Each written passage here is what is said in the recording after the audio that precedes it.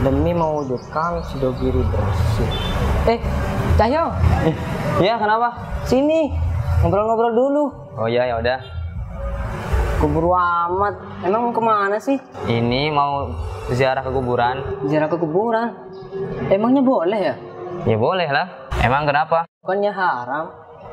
Kok bisa haram sih? Ya soalnya kemarin tuh aku pas pulangan, aku pernah nonton di YouTube orang-orang yang breok-breok itu. Katanya ziarah kubur itu haram.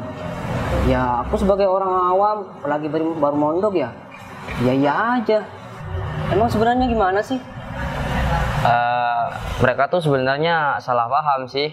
Jadi kayak gini, Nabi Muhammad SAW itu pernah bersabda, "Kuntu nahaitukum an ziyaratil kubri fazuruha."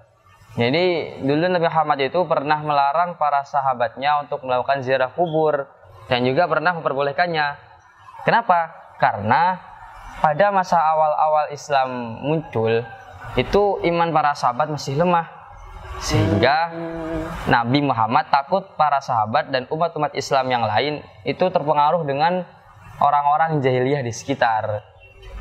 Dan juga orang-orang berewak ini mereka itu memiliki tiga akidah. Yang pertama rububiyah, yang kedua uluhiyah, dan yang ketiga asma wa sifat. Akidah uluhiyah mereka itu mengatakan bahwasanya Allah Subhanahu wa taala merupakan zat yang patut disembah dan kesalahan mereka mengira para penziarah itu menyembah pada kuburan. Padahalnya, padahal, padahal doa yang dipanjatkan itu berbunyi Allahumma. Itu kan sudah jelas-jelas minta pada Allah. Jadi nggak ada sirik-siriknya dong, jelas salah lah. Iya ya. Hmm, berarti yang aku tonton di YouTube itu salah dong.